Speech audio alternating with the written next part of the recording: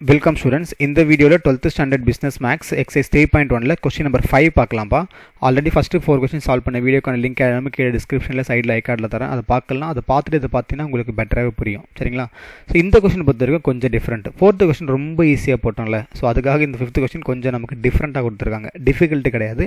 கொஞ்சம் டிஃப்ரெண்ட்டாக கொடுத்துருக்காங்க. என்ன அப்படின்னா உங்களுக்கு கொடுத்துருக்கிற இந்த லைன் பாருங்கள் y minus one equal to எக்ஸ்னு இருக்கா? ஸோ இதுக்கான லைன் நீங்கள் கிராஃபில் போடும்பொழுது உங்களுக்கு இப்படி தான் வரும். இதுக்கான ஷார்ட்கட்டும் நான் சொன்னேன். எப்படி சொன்னேன்? Y minus one equal to எக்ஸ்னால் நீங்கள் எழுதுனது சொன்னேன். Y equal to x plus ஒன்னு போடணும். இப்போ இதில் நீங்கள் எக்ஸ் ஜீரோன்னு சப்ஸ்டியூட் பண்ணிங்கன்னா உங்களுக்கு ஒய் வேல்யூ என்ன வரும்?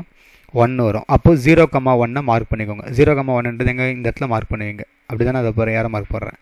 இப்போ அதே மாதிரி ஒய் ஜீரோன்னு போடுங்களேன். அப்போ ஒய் வந்து நீங்கள் ஜீரோ சப்ஸ்டியூட் பண்ணிட்டீங்கன்னா எக்ஸ் வேல்யூ உங்களுக்கு என்ன வரும்? மைனஸ் ஒன்றுன்னு வரும். அப்போ minus one comma zero so minus one comma zero உங்களுக்கு இங்கே கிடைக்கும்.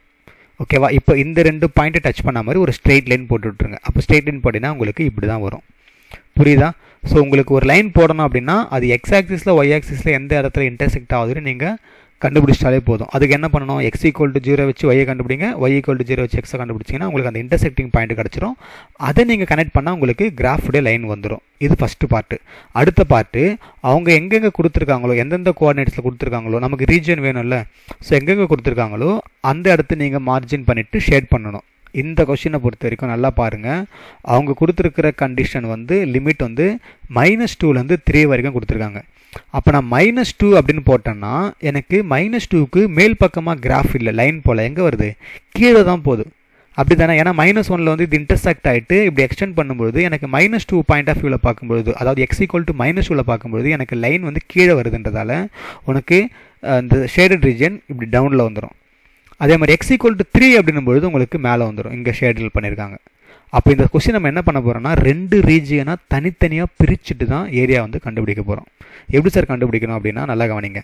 நம்ம எழுதுறது ரொம்ப இம்பார்ட்டண்ட் இதில். நான் வந்து ரெண்டு லிமிட்டாக பிரிக்கிறேன். ஒன்று இந்த மைனஸ் டூவில் இருந்து மைனஸ் ஒன் வரைக்கும் ஒன்று புரியுதா? மைனஸ் டூவிலேருந்து மைனஸ் ஒன் வரைக்கும். நல்லா கவனிங்க. இந்த ஷேடட் ரீஜன் எந்த குவாட்ரண்ட்டில் வரும் கிராஃபில் தேர்ட் குவாட்ரண்ட்டில் வருமா? அப்போ தேர்ட் குவாட்ரண்ட்டில் ஒய் வேணும் அப்படின்னா இது வந்து தேர்ட் குவாட்ரண்ட்டில் ஒய் எப்படி இருக்குது உங்களுக்கு? இது நெகட்டிவ் தானே வரும். ஒய்ன்றது நெகட்டிவ் இது ஃபுல்லாகவே நெகட்டிவ் தானே ஒய் அப்போ நெகட்டிவ் ஒய் டிஎக்ஸ்னு எழுதணும். எதுக்கு? இங்கே நான் பிங்க் கலரில் ஷேட் பண்ணதுக்கு இப்போ அடுத்து செகண்டு இங்கேருந்து இங்கே. ஸோ எதை லிமிட்டு மைனஸ் ஒனில் இருந்து த்ரீக்கு பாசிட்டிவ் தான். அது பிரச்சனை இல்லை. எனக்கு ஒய் டிஎக்ஸ் போட்டால் போதும். ட்ரை டு அண்டர்ஸ்டாண்ட் ரெண்டு விதமாக பிரிச்சிருக்கேன். ஏன்னா உங்களுக்கு ஏரியாவே வந்து ரெண்டு டிவைடாக வருது. ரெண்டு செக்மெண்ட்டாக வருது. ஒன்று மைனஸ் டூலேருந்து மைனஸ் ஒன் வரைக்கும் தேர்ட் குவாட்ரண்ட்டில் வருது.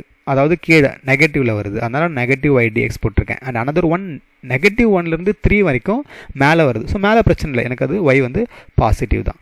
இப்போது இங்கே y minus one equal to எக்ஸா இதுலேருந்து ஒய் என்ன வரும்? உங்களுக்கு எக்ஸ் ப்ளஸ் ஒன்னு வரும். அதை நம்ம இங்கே சப்ஸ்டியூட் பண்ணலாம். புரியுதுங்களா? ஸோ மைனஸ் ஒன்னை நான் வெளியே எழுதிடுறேன். So minus two minus one ஒய்க்கு பதிலாக x plus one d x அதே மாதிரி இதுவுமே minus one three and then x plus one d x அப்படின்னு போட்டுடுறேன் புரிஞ்சுதாப்பா?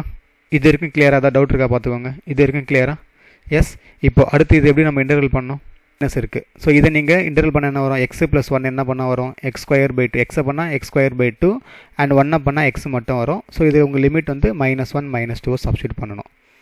சரிங்களா? இங்கேயுமே அதே தான் எக்ஸை பண்ணிங்கன்னா எக்ஸ் ஸ்கொயர் பை டூ ஒன்னை பண்ணால் என்ன வரும் உங்களுக்கு? வெறும் எக்ஸ் மட்டும்தான் வரும். த்ரீ அண்ட் மைனஸ் ஒன்னை சப்ஸ்டியூட் பண்ணணும். சரிங்களா? ஸோ இந்த மைனஸ் வந்து அப்படியே வச்சுக்கோங்க. ஸோ மைனஸ் ஒன்னை சப்ஸ்டியூட் பண்ணால் என்னப்பா வரும்? One by two minus one வருமா? அடுத்து மைனஸ் ஆஃப் இதை சப்ஸ்டியூட் பண்ண என்ன வரும் உங்களுக்கு? மைனஸ் டூ சப்ஸ்டியூட் பண்ணால் ஃபோர் பை டூ டூ வரும். அண்ட் தென் இது உங்களுக்கு மைனஸ் டூன்னு வந்துடும் புரியுதுங்களா? என்ன பண்ணுறோம் சொல்லிவிட்டு நல்லா கவனிங்க.